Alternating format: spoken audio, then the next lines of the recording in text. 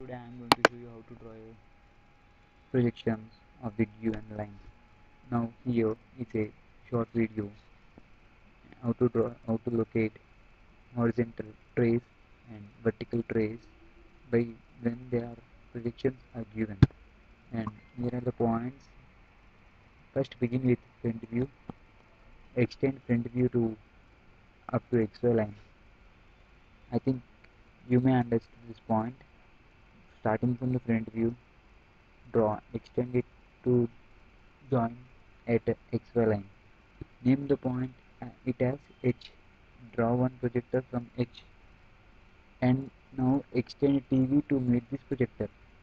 Now by seeing the diagram we can understand it clearly. And here are the points to locate vertical trace when projections are given begin with the TV means top view extend top view up to xy line. Name that point as V. As it is a V it is a top view of point in VP draw one projection from V. Now extend front view to meet the, to meet the projector from V. This point is VT now let us understood it by using a diagram. Here there is an xy line with given projections and uh, front view is given top view is given and now we are going to locate horizontal horizontal trace right? Now okay begin with front view. Begin with front view.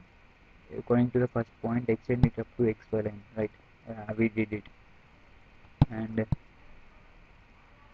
name this point as h. Right? Have we did it.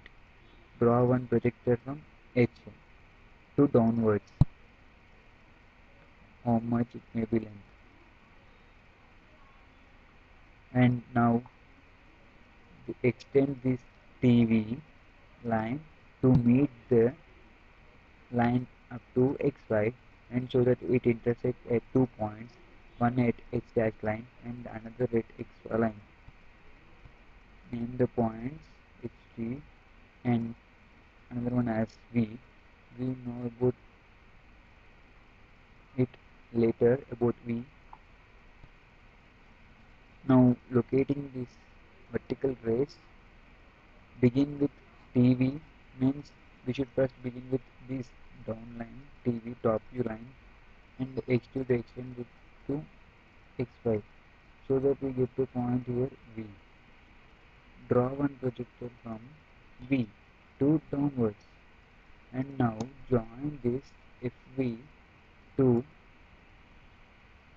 meet at V line and name it as VT so that we can get this vertical trace and horizontal trace of the lines of UN projections. I hope this video may help you a lot. Thank you for watching.